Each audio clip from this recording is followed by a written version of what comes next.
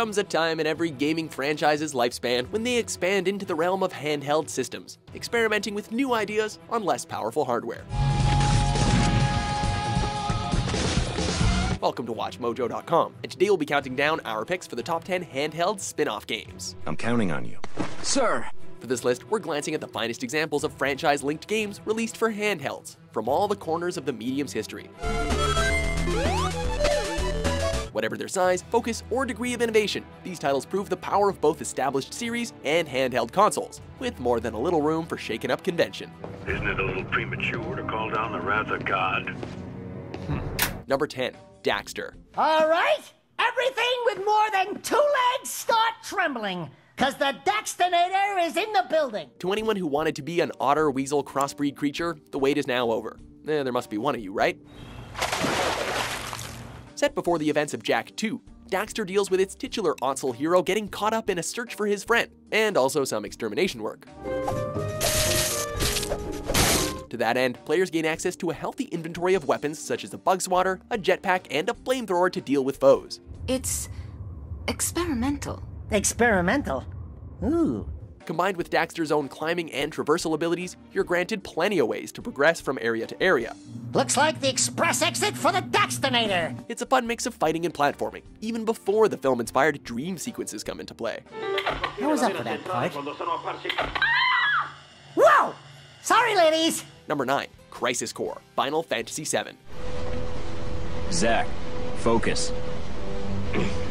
Between this, Tactics Advance, and Dissidia Final Fantasy, there certainly was no lack of quality Final Fantasy spin offs. I won't sleep well tonight. Here, players are put in the role of Zack Fair, a young recruit of soldier caught up in the hunt for a traitor, which soon gives way to much darker proceedings. The planet has become my guardian.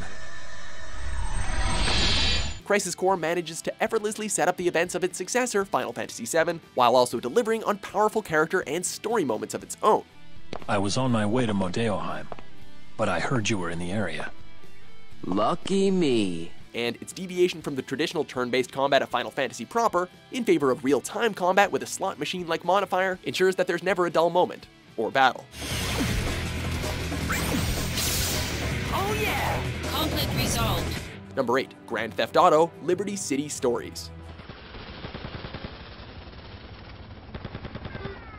Though we enjoy Chinatown Wars, the thought of having a fully 3D Grand Theft Auto just like on the PS2 in the palm of your hands seemed too good to be true in 2005, hence why we're going with Liberty City Stories. You're always saying the obvious. I can't believe I'm surrounded by people like you. Sorry. Acting as something of an expansion to the setting of Grand Theft Auto 3, this PSP title follows Tony Cipriani, a hitman returning to work for the Salvatore crime family. So help me, I'm gonna have some fun today, even if it kills you. Liberty City Stories takes time to make nods to character relationships from GTA 3, but still manages to tell its own tale of conflict in the criminal underworld. I tell you, even in my own family, I feel like Jesus, surrounded by 12 Judases. Plus, the incorporation of elements from the later games, such as motorcycles and changing of clothes, helped this installment feel up to date. Tony, honey, I had a great time today. Maybe you can drop by later and we can have some more fun. See you later, handsome. Number 7, Super Mario Land 2 Six Golden Coins. Something old, something new, something borrowed, and not a hint of blue. Super Mario Land 2 pits the beloved plumber in a battle against the debuting villain Wario, whose henchmen have taken over Mario's castle. Thus, Mario's quest takes him through a number of zones, which are organized by way of an overworld map inspired by Super Mario Bros. 3. The entire game nicely translates the console games' fantasy-based side-scrolling onto the Game Boy, with new additions like the Magic Carrot power-up keeping play entertaining. After all, who isn't amused by the sight of Mario in a bunny costume? Number 6, Hitman Go. Talk about a change from the norm. This turn-based puzzle game maintains the same core objectives as other Hitman games, assassinate targets in a stealthy manner, but is controlled by way of touchscreen commands on a grid-like board.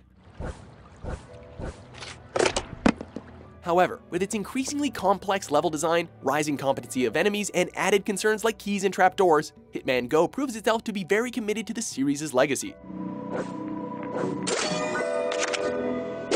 given the creation of its spiritual successor, Lara Croft, go, we feel like this definitely worked out.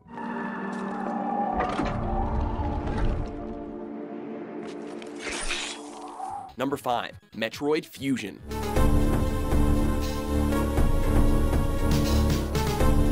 Released for the Game Boy Advance, this entry into the Metroid franchise walks a fine line between honoring a legacy and charting new territory. Fusion is a direct sequel to Super Metroid, with bounty hunter Samus Aran's latest mission being to investigate a laboratory besieged by mysterious parasites. Game deviates somewhat from the open-ended nature of past installments in favor of a more linear design, but this makes room for intriguing character moments and the theme of experimentation gone awry.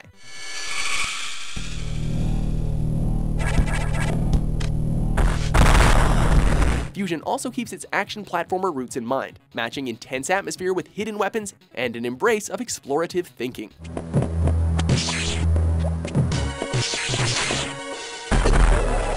Number 4. God of War Chains of Olympus. Olympus has sent a message, and I am here to deliver it. Once more, the Ghost of Sparta sets forth in the name of vengeance.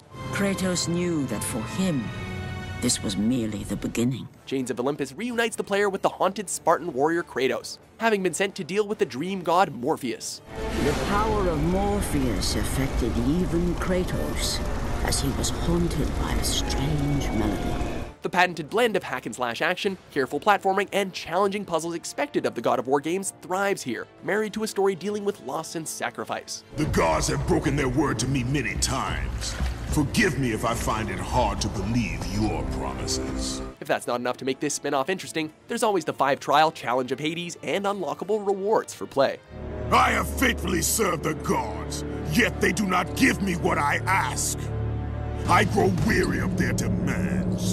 Number 3. Castlevania Aria of Sorrow. Following the success of Symphony of the Night, Konami went all out to produce a string of Metroidvania titles for Nintendo's handheld systems, with their finest work being the adventure of Soma Cruz. Aria of Sorrow's main draw is the ability to absorb the souls of enemies at random to unlock new abilities and weapons, meaning that no two playthroughs could end up unfolding the same way. Aria of Sorrow isn't just a great Castlevania title, it's among the best in the series, and it took the top spot in our top 10 Game Boy Advanced games list. Number 2. The Legend of Zelda A Link Between Worlds. While the Game Boy title Link's Awakening is justified in its legacy, it's this 3DS game that feels like more of an embodiment of the franchise.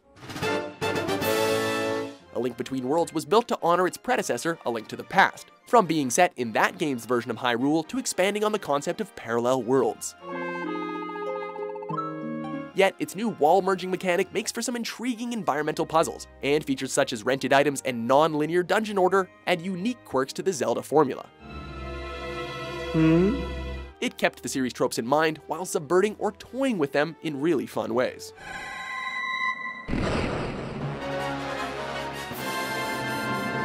Before we unveil our top pick, here are a few honorable mentions.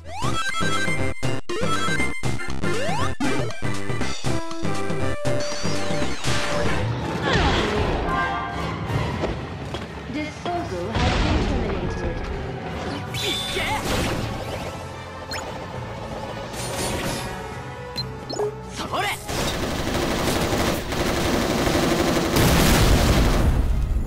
Come on, let's move.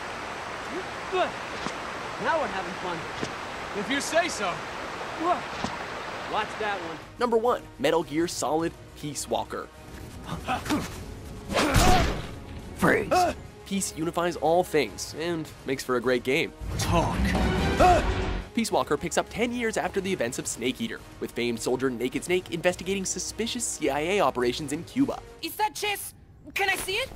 Wow, the same kind of chair used! You can't keep it, kid. Here, have these instead. This leads to an emotionally wrought tale of betrayal and struggle for peace, driven primarily by Snake's desire for answers. You're imagining things. However, the greatest strength of Peace Walker may be its breadth of content. It packs in main and side ops missions, base expansion, recruit management, and even mech construction. Factor in refinements of the series' stealth and combat mechanics, and you have a PSP title for the ages. Then, when you realize that almost all of the stuff that made Metal Gear Solid 5 so amazing, like Fulton extraction and base management, all debuted in Peace Walker, you'll probably understand how revolutionary it was. You got it, boss. Uh, Snake is fine. What's that? Do you agree with our list? After what you did, you're like a son to me. What's your favorite handheld spin off game? For more great top 10s published every day, be sure to subscribe to WatchMojo.com. Gotta go, Toots. Talk to you later. I mean, uh, over and out. I mean, 10 4, or whatever.